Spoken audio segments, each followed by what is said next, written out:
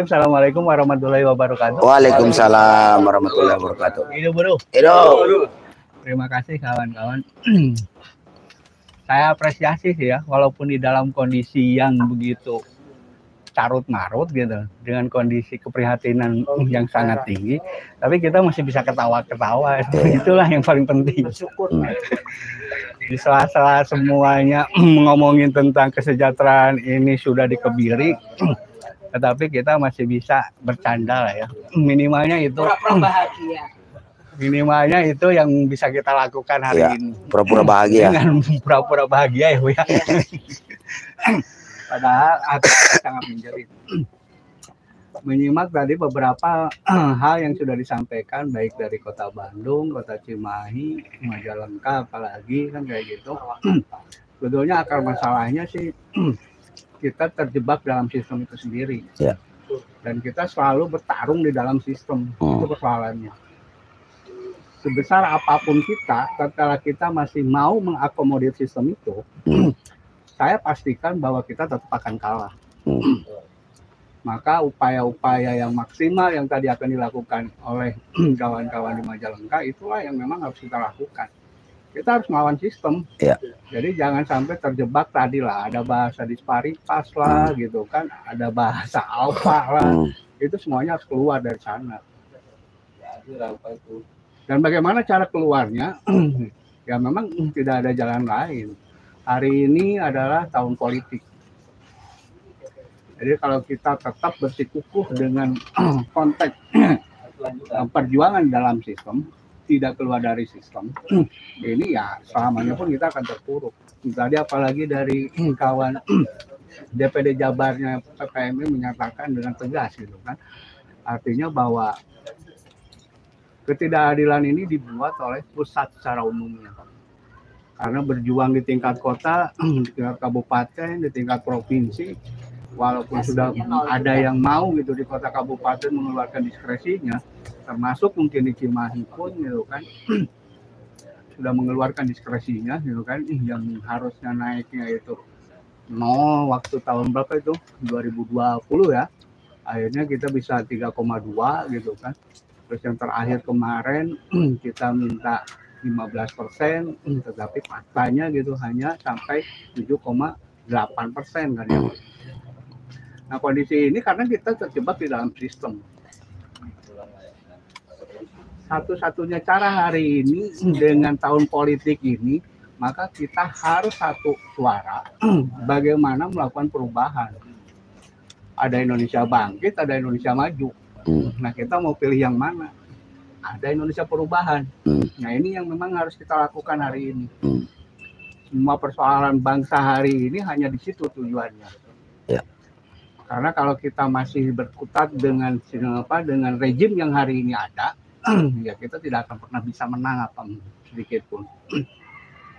Kita mau jor-joran aksi 10 Agustus yang kemarin 200 ribu orang gitu kan dari ASB bahkan sampai mm, apa tadinya mau nginep itu tapi kita dibatasi sampai jam 12 malam lebih 10 menit ya waktu Hmm. itu itu pun tidak bergeming sama sekali karena apa karena memang rejim hari ini tidak merasa khawatir dengan gerakan kita justru gerakan upah ini tidak boleh kita hanya dalam konteks sektoral bahwa perjuangan upah adalah bukan hanya dilakukan oleh buruh.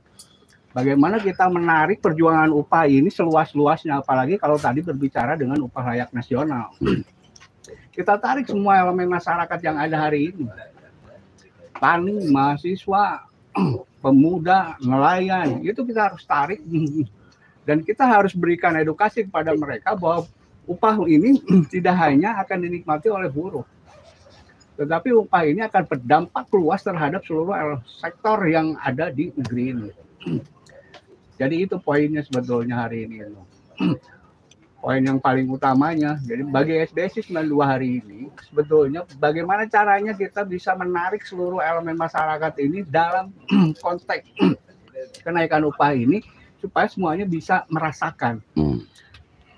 kawan-kawan mahasiswa hari ini atau adik-adik mahasiswa hari ini pun harus paham dengan upah karena pasca dia lulus dari kemahasiswaannya dia pun tidak jauh-jauh akan menjadi buruh pabrik juga. Iya. Ujung-ujungnya dia Iya. bekerja, ujung-ujungnya dia akan jadi kasir juga kan kayak Iya. gitu.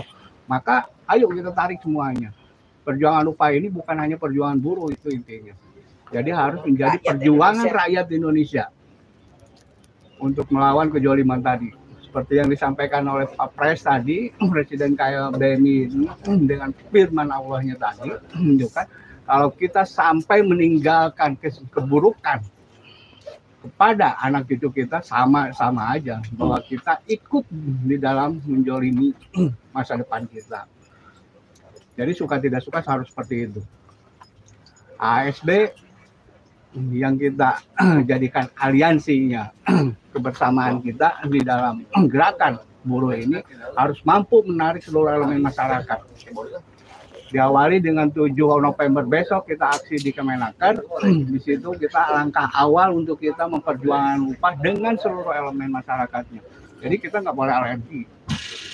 Kemarin ada tani waktu kita menolak omnibus law, ada kawan-kawan tani yang memang agra ya, Hmm. itu sudah bisa kita jadikan satu sekutu lah ya dengan kita untuk memperjuangkan upah juga. Karena tatkala upah murah, harga-harga tani pun agak sulit itu untuk dibeli oleh masyarakat. Pedagang kaki lima pun harus kita bawa. Supir-supir angkot harus kita bawa dalam perjuangan upah. Salah satu contoh yang memang akan kita lakukan di Cimahi mungkin ya tadi seperti yang dikatakan Kang Iman, mungkin Kang Iman tadi tidak menyampaikan beberapa hal. Pertama, kita akan melakukan aksi selebaran untuk mengajak seluruh elemen masyarakat di kota Cimahi. Betul Kang Iman ya kayak gitu ya. Jadi untuk mengajak seluruh elemen masyarakat di kota Cimahi untuk memperjuangkan upah di kota Cimahi. Karena memang betul Cimahi dengan kota Bandung aja jomplang sebetulnya. Iya. Cimahi 35, kota Bandung 42 Kita, Mati ada 80 kita dapat artinya ada jomplang padahal sama ya. satu ini ya. Iya, hanya beda colokan. harga kopi sama Nah itu artinya konteks inilah yang memang harus kita lakukan secara bersama-sama. Maka solusi untuk upahnya ini sendiri sudah dilakukan oleh kawan-kawan ASD di mana kita terlibat di dalamnya yaitu dengan upah layak nasional. Jadi sudah tidak lagi kita ngomongin disparitas nanti kalau upah layak nasional sudah berada, hmm, sudah ditetapkan. Tetapi untuk menuju upah layak nasional itu tidak bisa diperjuangkan oleh satu elemen. Hmm. Itu harus seluruh elemen. Karena upah ini akan berdampak kepada seluruh elemen. upah murah, upah upah murah ini akan berdampak terhadap daya beli masyarakat. Daya beli masyarakat dengan upah murah ya jelas lah pertumbuhan ekonomi pun akan sangat sulit. Ya.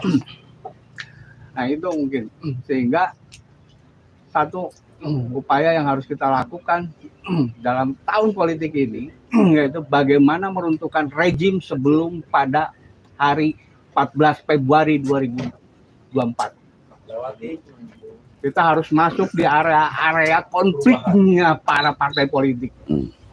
dalam rangka tadi memperjuangkan upah, bukan dalam rangka mendukung mereka untuk berkontestasi di dalam politik praktis ini, tetapi kita dalam rangka mendobrak perjuangan yang memang selayaknya harus sudah kita lakukan. Rejim ini memang harus sudah dihentikan. Rejim ini tidak boleh lagi melenggang sampai apalagi lah tadi yang saya dianekdotkan oleh kawan-kawan, ya kan? Jokowi naik dengan SMK, Gibran lah ya saya langsung katakan namanya Gibran lah naik dengan MK kan kayak gitu. Nah ini memang suatu yang sangat sangat memprihatinkan lah bagi negeri kita ini. Dinasti hari ini itu benar-benar sudah tidak lagi di bawah meja tetapi sudah di atas langit. Dia sudah terang-terangan kan kayak gitu. Nah ini konteksnya hari ini.